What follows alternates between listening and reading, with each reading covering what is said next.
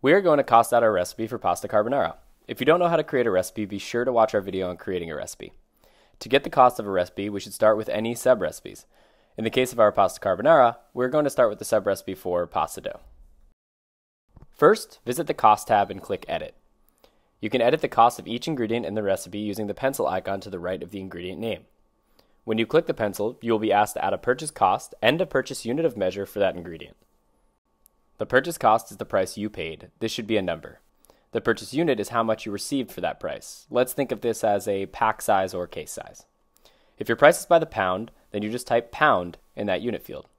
If your price is by the 50 pound case, then you just type 50 pounds in that unit field. As you add your ingredient cost, your total recipe cost will update as well.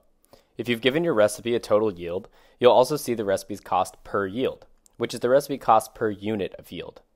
For example, if you gave your recipe a total yield in quarts, the field will show the recipe cost per quart.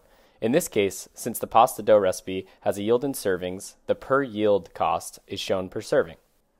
Let's move on to our carbonara recipe to calculate the cost of the final dish. You'll see that some of the ingredients on the cost tab for carbonara recipe already have costs filled out. This is because the ingredients cost are applied everywhere that ingredient is used in your account. Once you add cost to an ingredient, meez will pull that cost into any recipe that calls for it. We'll add cost to the rest of the ingredients the same way we did for the pasta dough.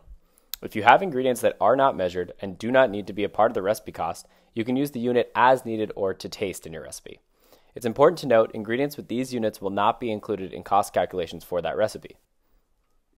Once you are satisfied with the recipe cost calculation, you can scroll down to the food cost calculator near the bottom of the page.